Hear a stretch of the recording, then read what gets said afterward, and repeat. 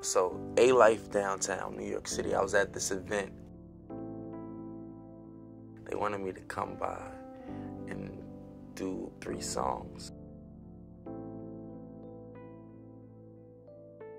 And when I say it was like a line around the corner, people couldn't even get in. And I just kept thinking to myself, geez, wait, all these people are here for me? Like, oh man, this this can't be real. It's my first time, my first show. It's right after I released the video.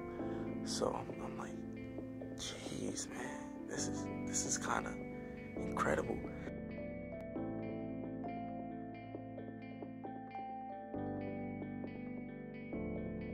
It turned out crazy. People were dressed how they saw me dressing in the videos and stuff like that, right? And when I got in the car, I got in the car on my way home and I cried because I was happy. That's when I felt like I made it.